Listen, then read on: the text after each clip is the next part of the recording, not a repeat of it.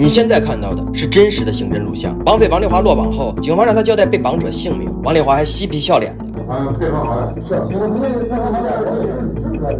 你让我这人名，我这正好帮你几个。啊，你的主线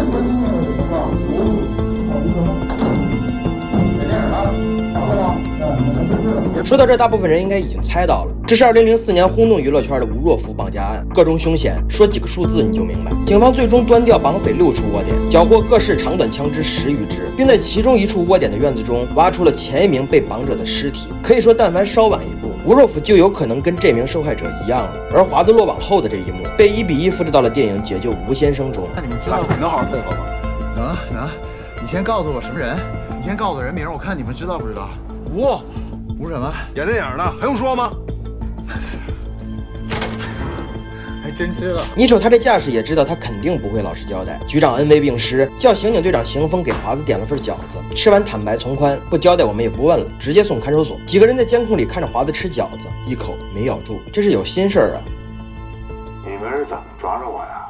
确实闹这么大动静，华子也不是无脑悍匪。整个绑架行动快、稳、准、狠。先说稳，在停车场踩点豪车，等车主出来，伪装成警察，匆匆给看一眼证件，言之凿凿的说你涉及某起案件，要回局里调查。别说一般人了，就电影明星吴先生和投资商都被唬住了。上了车，脑袋摁前排座椅，不准看外头，一脚油直接拉没监控的郊外。再说准，受害者有多少钱摸得清清楚楚。比吴先生早一天绑来的小豆，一进门就被生扯了耳环，谎称车是借来装杯的，借姐的车兜风，你绕我呢？一锤下去，小豆只能把现在能拿出来的钱全交代，但还得快，只给一天时间交赎金，否则狠的来了，立刻撕票。要不是吴先生狂喊自己替小豆出这份钱，恐怕院子埋的人里就有他了。就这手段，案发只有短短两小时，华子就已经进了吴先生的公寓，卡上有三百万。唯一的问题是大额取现得预约，这就给了邢峰他们时间。案发第一时间，投资商就报警确认信息了。邢峰扑吴先生公寓时还是慢了华子一步，但再狡猾的狐狸也会露出破绽。华子拿到银行卡第一时间就跟银行打了电话查余额。根据电话时间可以判断华子走了没多久，邢峰立刻调来小区和周边所有监控，可惜车牌挡得死死的，扭来扭去，出了城后就消失在了监控中。现在留给邢峰的只有一张脸，邢峰一眼就认出来了是华子，因为一个月前的一起命案，案犯正是华子。原来华子刚刑满释放一年多，同伙也都是那会儿的狱友，他们绑了黑社会孔老大的弟弟孔老二，要一百万赎金。救人心急的孔老大没跟警方合作，直接把钱给交了，没想到这货依然撕票了，电话直接打到孔老大这儿。你这弟弟啊，太牛逼了！我绑他的时候呢，我就没想让他活着。你这样，你再给我准备一百万，我告诉你他埋在哪儿。你以为这就完了？没几天，他居然又来绑孔老大，还是同样的套路，伪装警察。毕竟混社会的，真警察啥手续大概都知道。更何况这个声音他可太是记住了。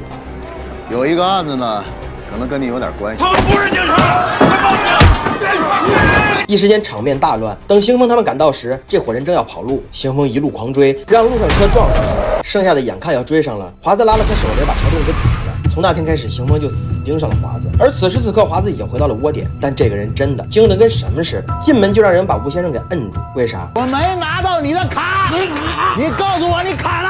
啊，卡呢？啊！他不停地逼问快被掐断气儿的吴先生，就是在试探吴先生还有没有没交代的钱。濒死的人说的话，华子才能全信。所以当吴先生梗着喉咙再三肯定自己就那么多钱时，华子才嬉皮笑脸地把他扶起来。他又掏出从吴先生家顺来的录像机，说是要给吴先生录一段。但吴先生找借口拿到录像机，一到手就把机子往地上一砸。他第一次这么情绪失控，为啥？就是因为吴先生知道，如果让华子录了像，他就能用这段录像去要赎金，而自己是死是活，对华子完全不构成影响。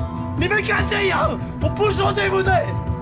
还是要信用，对吧？不然他们能服你吗？能服你吗？我答应付钱了，你玩硬的，我瞧不起你，我瞧不起你。华子暂时松口了。现在天也快亮了，银行也快开门了。吴先生拿张卡得找人去银行拿钱，可找谁呢？吴先生把电话打到了以前战友苏先生那儿。这么晚了，有个事儿麻烦你，我被绑架了。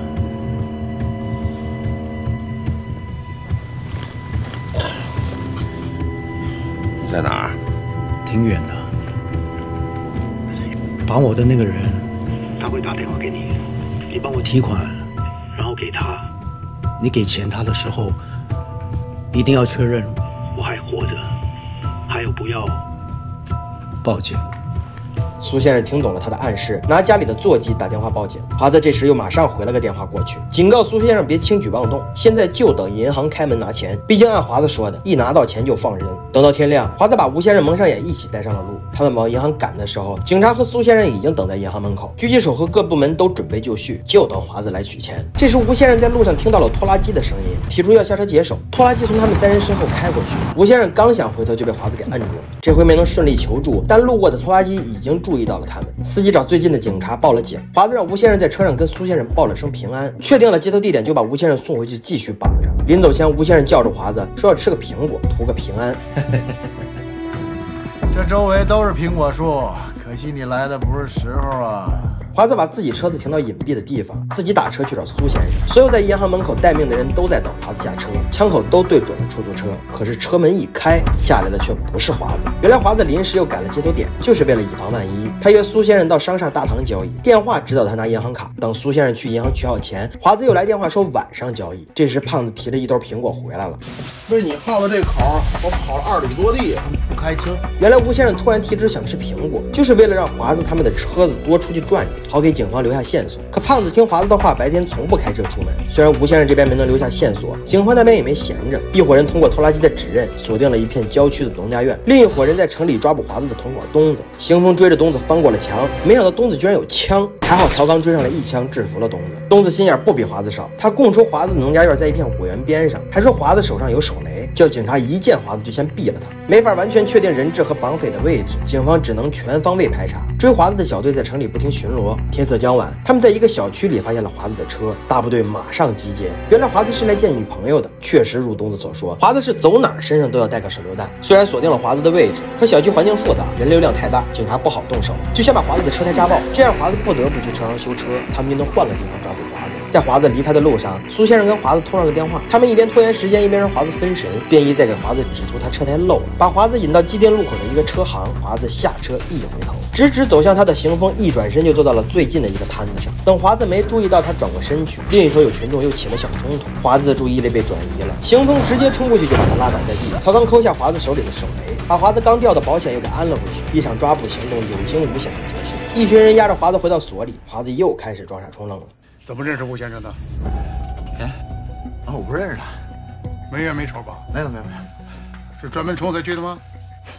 不是，一开始我还以为他周润发呢，我华子怎么都不愿意交代人质的位置，他抬头一看表，提出要从头说起，摆明了就是在拖延时间。为啥？因为华子出门前跟苍哥交代了，九点他还没消息的话，直接撕票。警方这边见来硬的不行，给华子端了碗饺子，这是给华子最后的期限。吃完饺子，他必须得说出人质的位置。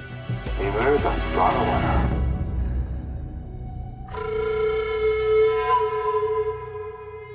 另一边郊区平房里也煮上了饺子，这是他们给吴先生和小豆的断头饭。就像之前的孔老二，华子就算拿到钱也会撕票，更别提现在马上九点了，他还没动静。吴先生抱着小豆哼唱小丑，等着生命的最后一刻到来。门一关，他们把吴先生和小豆各自锁好固定，拿上电线一兜，使劲勒着他们的脖子。眼看着吴先生面部充血，青筋暴起，马上就要窒息而亡。危急关头，警方破窗而入，制服歹徒。他们是怎么顺利找到人质的？多亏了华子。我自己的钱我有自己的分法，你怎么分？我想怎么分怎么分，我愿意怎么分怎么分，分完了我自己还得留点呢，留点干嘛？留点买枪租房啊，租房干嘛？关人质啊，拿人质换钱？当然，收了钱放人质吗？那我能放吗？我弄死他，埋了，埋了，然后在上边种上什么桃树、李子、杏树、苹果。再加上白天拖拉机司机的报案大致确定了范围，解救吴先生的行动才能顺利结束。十个月后，华子被判死刑，他跟母亲见了最后一面。妈，我现在挺踏实的啊，也不用折腾了。儿子，俺不会教育呀，妈有罪呀。行了，我不在的时候多注意身体啊。下辈子可别再干这样的事儿了。这辈子算了啊，下辈子啊，我再孝顺你啊。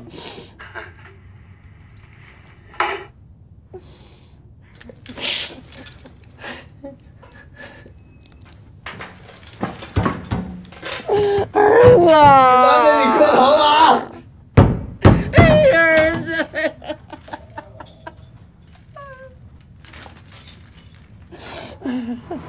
王千源的这段表演跟真正的华子临行前见母亲一模一样，只是比起真正的悍匪华子，王千源演出的是对母亲的愧疚，从故作轻松笑着说出下辈子的哭。王千源一直保持着安慰母亲的态度，即使稍显狰狞，但这一刻悍匪华子是有感情的。然而现实中，华子是有过弑母言论的。我当时唯一想法出来就是先把我杀了。在亲情和自己的欲望衡量下，华子会选择为了不留牵挂、没有障碍的作案而弑母，可想而知他有多恶。而解救吴先生与真正的追捕纪录片不同的一点就在于，电影还刻画了华子的性格，不单单是恶。电影借王千源的口自述了很多次华子的价值观，他自傲又自负，但骨子里的自卑又遮掩不住。哎呀，人的命就不一样啊，有的在天上，有的在地。他把自己的处境归咎于命运的不公，从来都不觉得自己有问题。甚至在最后吴先生来狱里看他，华子开口也是。人和人的命真不一样，你他妈命真好。他还是没反省死刑结果下自己的问题，还认为是命不好，自己才选择了绑架这条路。于是吴先生给他提来了一篮苹果，这里是浓浓的嘲讽意味。华子不是杀了人都要埋苹果树下吗？这篮苹果就是他埋下的种子结的果，而如今华子的死也是当初肆意杀人换来的果，所以没有什么命不命的。吴先生要说的是，这一切都是你的报应。我们下期再见。